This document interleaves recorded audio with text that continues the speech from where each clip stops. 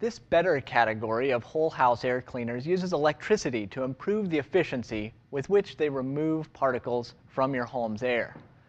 In fact, they remove particles as small as 0.3 microns at an efficiency of 70 to 94 percent.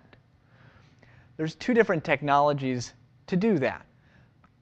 The first uses a set of plates to attract those polarized particles as they pass through the unit.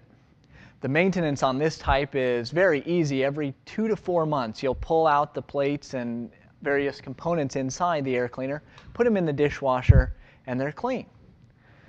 After you put them back in, you're running for another two to four months. The second type uses a unique media that has an electrically conductive material embedded right in the media. That media can last from one to two years, and then you simply dispose of it and put the new one in. You can see it here. It's also very dense and an accordion shape, so it has a very large surface area so that that air can pass through very easily, despite it being such a tightly woven material.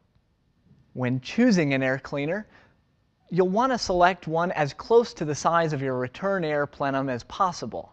But we do carry a sheet metal transition kit because there's lots of instances where there won't be an exact match.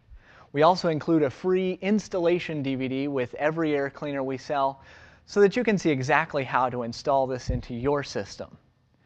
So keep in mind electrostatic air cleaners as a fantastic way to really improve the air in your home, providing a healthy environment for your family.